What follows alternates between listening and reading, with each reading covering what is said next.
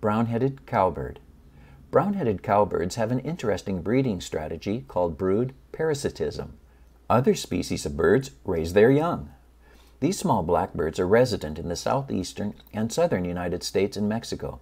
They summer northward in all the U.S. and throughout southeastern and western Canada.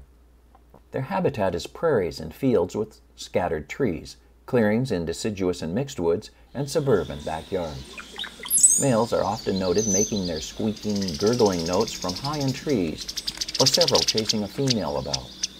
Females do not build their own nests. Instead, they lay their eggs in the nest of host species, often much smaller birds like warblers.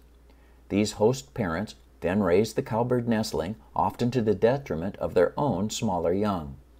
In summer, you may see small birds feeding their much larger and constantly begging adopted babies.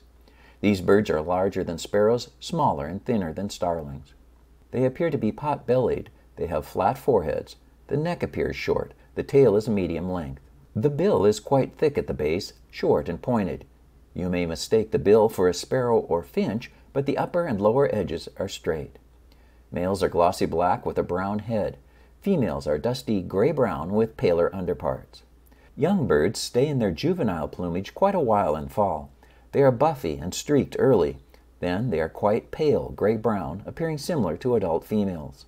As fall progresses, the young males molt feathers of starkly contrasting patches of glossy black on their pale dusty brown bodies, attaining the adult male plumage by early winter. These birds can take over your feeder either as individual birds or in small flocks, often mixed in with other blackbirds, grackles, and starlings.